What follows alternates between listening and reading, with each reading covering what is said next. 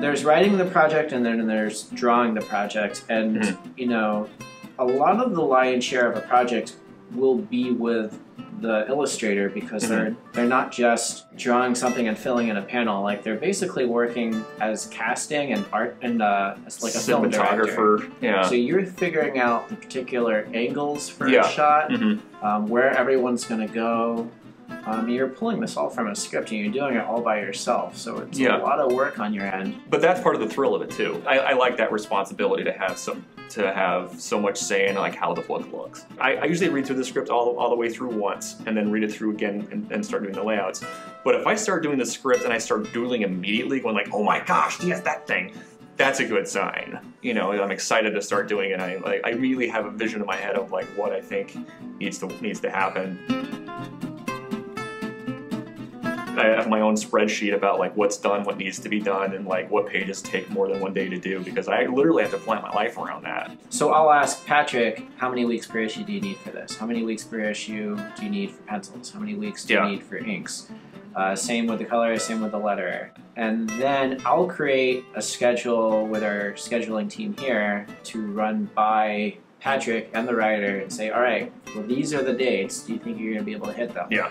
In that schedule, I'll also give myself a little wiggle room for buffer, uh, just so I have the time I need to go through everything uh, once it moves in-house, and our entire company will as well, because you know production needs to go through it, design needs to go through it, and we're not just working on this one book. We're working on over a hundred different books at a time. So um, it's a lot to pay attention to. It's a lot to juggle, but it's a lot of fun.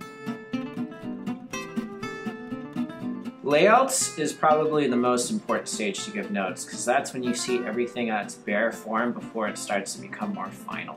It's also the stage where you can change, make the You most can, changes. you can make Yeah. dramatic changes, but as you're progressively going through the stages of a comic book from layouts to pencils to inks to colors to letters, it starts to become more final. And once you hit inks and colors, you really don't want to make too many big Mhm. Storytelling changes at that point. Our production department will send down what's called a yellow slip, which is uh, the lettered color stage, and then I'll go through it with my assistant, make some notes on it. I'll send it back to the artist Mhm. and to the writer um, to take another look at it to see if they have anything else they may be thinking of. I mean, at this stage, you're working on the next issue. Yeah. But I still kind of like you to look at it just to see if Mhm. there's anything else that you want done to it before it gets printed.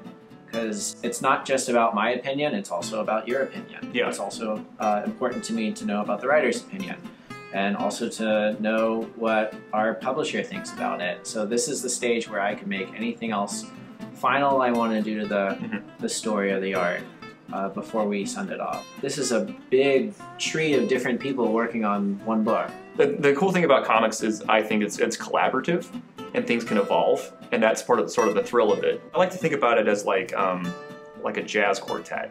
A lot of that is about listening and like letting the other the, the saxophonist go on for a solo and then knowing when to back off and let the bassist go and then knowing when to back off and let the drummer have the thing and then when they come back together it becomes like this collaboration of a thing that uh, is different from when it started but it's still hopefully compelling and beautiful. Yeah, I think it's Yeah. always healthy to give Mhm. each party to a project some breathing room. Yes. Mhm. And then my job is just make sure it's accurate. I like to think about the editor as like um, the person who's responsible for putting out the best comic that we can. You're making something together as a whole, and it's a lot different than what you have in, in mind individually. I think the best moment each time is when the book finally arrives for the printer. It's the product of all of this work done together, and there it is. And it seems so simple and innocuous when you see the little pamphlet, but it's still a real good feeling that I haven't lost. Um, so that really, to me, is really the best part about this whole thing.